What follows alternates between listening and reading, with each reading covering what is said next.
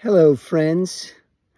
Well, I'm sitting here under the Bodhi tree, and as you know, us spiritual seekers search far and wide to find the Bodhi tree of enlightenment. And the other day, I was here at this tree after having a very powerful, almost like a earthquake experience with Shaman Pasquale. And I came to download and ground a bit of all that stirred me up to no end.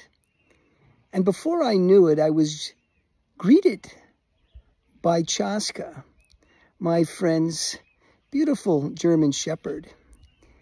And she came and snuggled me under this tree and put her head on my lap and put her paw out.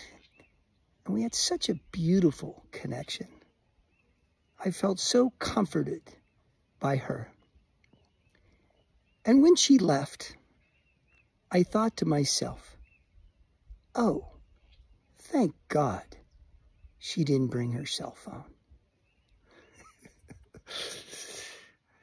anyway, I wish you all the best and many blessings as you continue your travels to find the Bodhi tree of enlightenment.